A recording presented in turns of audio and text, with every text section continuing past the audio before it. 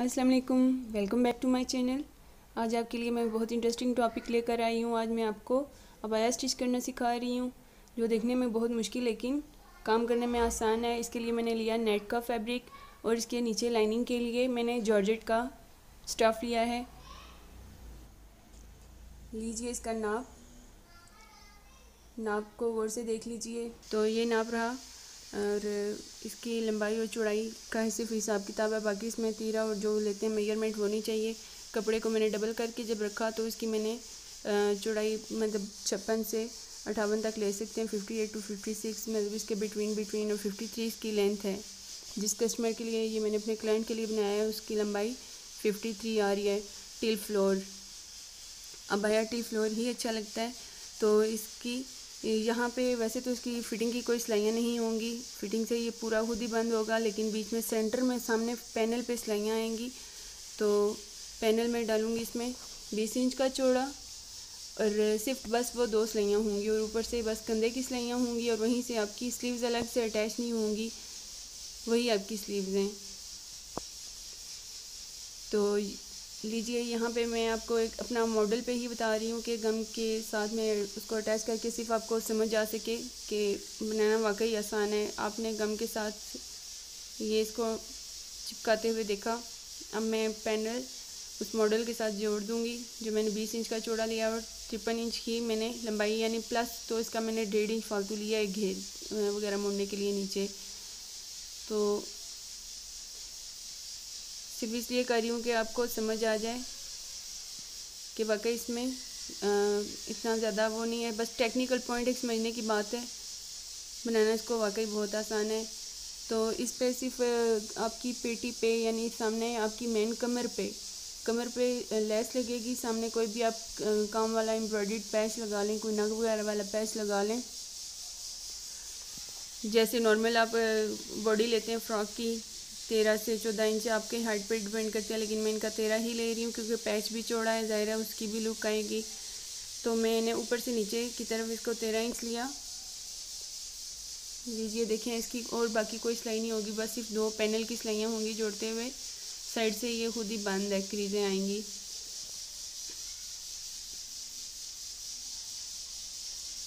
आपने सिर्फ़ कपड़े की लंबाई चौड़ाई रखनी है। अब आपने इस नीचे से आपने घेरा वगैरह मोड़ने के लिए नीचे स्लाइड जो आप मोड़ते हैं, जितना आपने मार्जिन रखा है। और यहाँ पे पेटी में ऊपर से नीचे की साइड पे डाउन साइड पे तेरह इंच ले रही हूँ। यहाँ पे अब अटैच होगा पैच पैच का पीस ये आपके कमर का निशान हो गया। तो अब इसी जहाँ पे आप पैच अटैच करेंगे, यहाँ पे अंदर वाली साइड पे आप तकरीबन 25 से 30 इंच के दरमियान लंबा लंबा, दो लंबे बेल्ट लेफ़्ट एंड राइट दोनों साइड पे अटैच करेंगे। जो अंदर से टाइट होगा तो इस तरह बाई की फिटिंग आ जाती है और ये वहाँ ऊपर आपने दस इंच कंधे को छोड़ा सॉरी गले को छोड़ा तो ये ऊपर से आप जब सिलाइयाँ लगा के बंद करेंगे तो यही आपके बाजू की शक्ल आ जाएगी। लेकिन अब बाजू की आपने मोरी बनानी कहाँ से है, सोचने की बात यह है, ये तो सिलाइयाँ होगी इसमें कोई तीरा शीरा नहीं है, बिल्कुल फ्री स्टाइल का अब यहाँ से जब आप इसको कट करेंगे, मोहरी काटेंगे तो ये आपकी बाजू यहाँ से निकल आएँगी। और यहाँ पे शक आप चाहे तो कफ लगा लें, या फिर कोई भी पट्टी आप लगा लें। जब आप इसको इस साइड पे कट कट आउट करते हैं, फिर आप सिलाइयाँ लगाते हैं आप अपने। गले को छोड़कर और मोहरी को छोड़कर जब बीच का रहता हिस्सा आप बंद करते हैं, वही आपका तीरा, वही आपकी बाजू होगी। अब चाहे तो आप कफ अटैच कर दें या चाहे कोई पट्टी कफ की शक्ल की ही लगा लें, जो पैच आपने कमर पे लगाया, चाहे उसी के साथ का आप वो पैच लगा लें।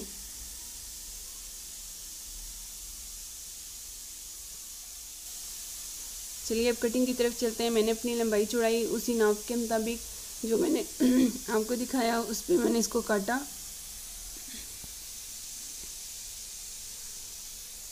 बस इतना कपड़ा बचाना है कि आपका पैनल आराम से निकल आए। फिफ्टी थ्री तैयार नाप है। तो ये आप इसमें डेढ़ इंच और शामिल कर दें, साढ़े चौवन हो गया।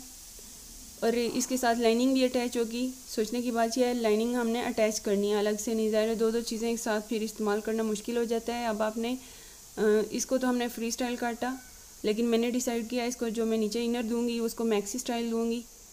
यानी ऊपर से अपनी ये फिटिंग में होगा तीरा कंधा बाजू बाकी ये आम नॉर्मल फ्रॉक या मैक्सी टाइप के होंगे। लेकिन वो जो ऊपर है, हमने नेट का कटा है, वो बिल्कुल फ्री स्टाइल में है। लेकिन अब इसकी कटिंग और स्टिचिंग अलग से होगी, लेकिन बाद में गला इनका मैं सेम अटैच कर दूँगी। गले और इधर से मैं इसको कफ में अटैच कर दूँगी।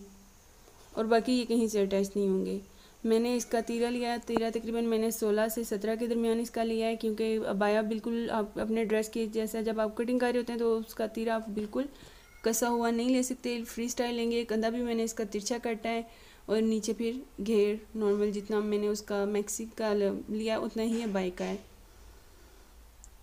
बहुत ज़्यादा आप कमर से टाइट नहीं होगी, आप इसकी मार्किंग देख सकते हैं और यहाँ नीचे से मैंने इसकी शेप देने के लिए शेप की कटाई की है, तकरीबन रेप कटाई करते हुए मैंने दो इंच को माइनस करते करते फिर मैंने इसकी एक्चुअल लेंथ के साथ इसको मिला दिया यहाँ से, दो इंच तिरछा करते करते। आप जब भी फ्रॉक की कटाई करते हैं, किसी भी फ्रॉक की या मैक्सी की, आप इसको ऐसे ही लेते हैं, इस तरह इसके कोने नहीं लटकते, बहुत अच्छी लुक आती है। चलते हैं हमने फिर बाजू की कटिंग को देखते हैं। बाजू की कटिंग के लिए वही बचा हुआ कपड़ा तो आपने सबसे पहले अपने बाजू की लंबाई डिसाइड करनी है, फिर अपना कंधा देखना है। बाजू की मोहरी को रखते हुए कंधे के निशान के साथ मिलाएँगे। बाजू इनकी मैं तेईस ले रही हूँ। सिलाई मोड़ने का हक रखते हुए निशान में तेईस इंच के साथ ये एक इंच का गैप छोड़ के, जो फिक्सिंग के लिए कपड़ा इस्तेमाल होगा मार्जिन रख के ये मैंने जो ब्लू निशान लगाए हैं, ये तो इसका तैयार नाप है। और आपने इसकी कंधे की कटाई हमने मैक्सी की जो ली है, वो तिरछी है तो इसकी भी हम सही तिरछी लेंगे, इसको कोई शेप आउट नहीं करेंगे।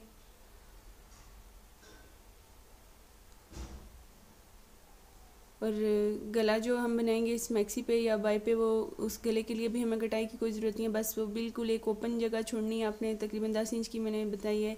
तो मैक्सी और अबाया वहाँ गले से अटैच होंगी और नेक्स्ट जाके फिर ये बाजू की मोहरी की जगह से अटैच होंगे। इसके आगे फिर मैंने इसके कफ प्लान किए हैं, मैंने कफ लगाए हैं। अगर तो आप ऐसा मोटा कपड़ा ले रही हैं जिसके नीचे लाइनिंग की ज़रूरत नहीं है तो फिर आप सिर्फ़ पहले वाले आइडिया को ही फॉलो करेंगी। इसके नीचे यानी आपको ये जो मैं वाइट कलर का जॉर्जेट का कपड़ा काट रही हूँ, फिर आपको ये लाइनिंग देने की ज़रूरत नहीं है।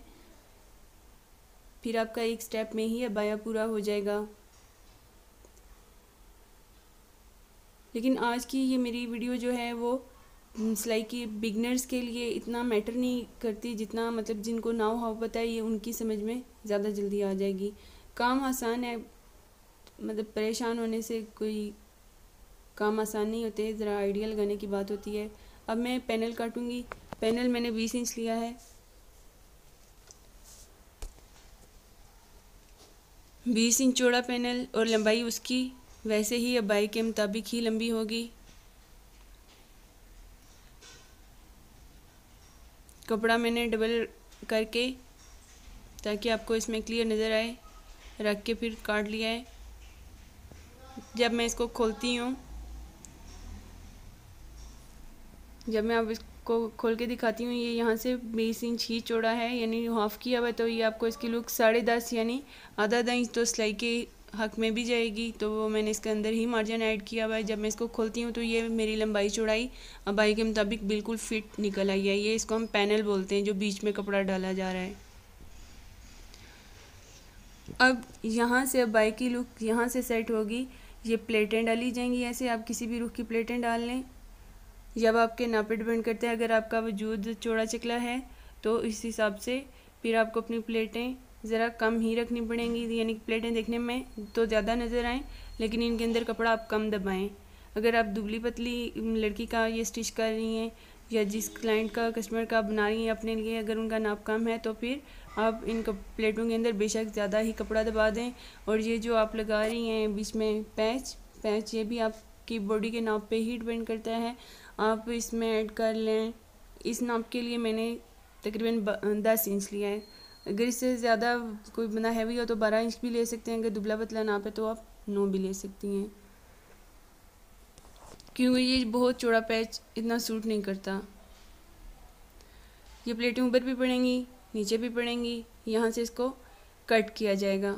और कट कितना किया जाएगा? जैसे मैंने आपको मॉडल पे मार्क करके बताया, ये तेरह इंच पे कटेगा। अभी मैं इसको काट नहीं रही हूँ। बाद में इसको मैं कटिंग करके दिखाऊँगी। ये इसके ऊपर पैच ऐसे रख के लगेगा।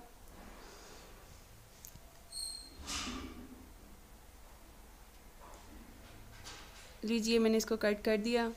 दो हिस्सों में। अब इसके दरमियान पैच अटैच होगा। अब पैच को मैं इसी के बेस के कपड़े के साथ, यानी जॉर्जेट पे रख के ही लगाऊँगी, ताकि इसकी मजबूती में इजाफा हो जाए। आधा आधा इंच एक्स्ट्रा कपड़ा रख के मैंने काट के इन दोनों हिस्सों को आपस में फिर मिला लिया। अब ये पैनल हमारा तैयार हो गया। अबाई के साथ अब इसको अटैच कर लिया जाएगा। और ये वो पॉइंट है, ये वो पॉइंट है जहाँ पे अंदर आपने बेल्ट काट के लगाना है रिबन टाइप आपने इसको स्टिच करके लगाना है और जब बाया पहना जाता है तो उसको अंदर कमर पे कस लिया जाता है और इसके बाजू के साथ ये कफ हैं। ऑप्शनल हैं, आप लगाएँ या ना लगाएँ, लेकिन मैंने इसके साथ इस टाइप के लगाएँ, ये बहुत प्यारे लग रहे थे। मैंने इस पे तो है तीन है, ये भी मैंने स्टिच किया था, लेकिन इस ब्लू वाले पे मैंने पाँच बटन वाला कफ तैयार किया है। पहने हुए इसकी लुक कैसे आती है? नीचे से बिल्कुल फ्री स्टाइल कमर से आपके नाप का हो जाता है, और ये आपको बाजू भी अलग नहीं लगाने पड़े, और लेकिन बाजू भी इसमें लगे हुए हैं। वीडियो देखने के लिए शुक्रिया।